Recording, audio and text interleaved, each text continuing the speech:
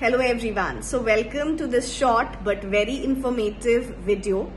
इस सेशन में I be talking about what is exactly type one and type two error this is one of the question that confuse students a lot ये सबसे बड़ा question है जो students को बहुत कंफ्यूज करता है.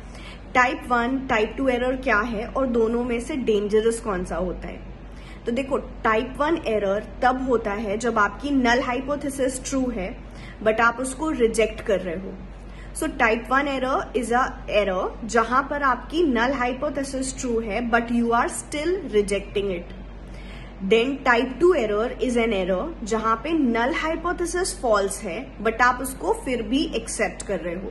Right so type one error is an error where you are rejecting a true null hypothesis type one error को आप एल्फा एरर बोलते हो and type one error is also known as false positive type two error is an error जहाँ पर आपकी alternate hypothesis आप reject कर रहे हो जो कि ट्रू थी। मतलब you are accepting a false null hypothesis and therefore type two error is also known as false negative type two error को आप बीटा के नाम से भी जानते हो। So which one is more dangerous type one ज़्यादा डेंजरस है या type two so the answer is type one error is more dangerous type one error ज़्यादा डेंजरस होता है जब आप स्टेट कर रहे हो कि दो चीज़ में रिलेशन है।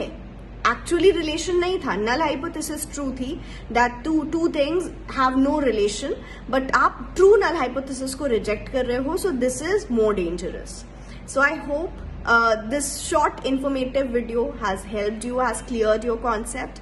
Thank you so much for watching. Comments में लिख के बताना आप मुझे कि ये video कैसी लगी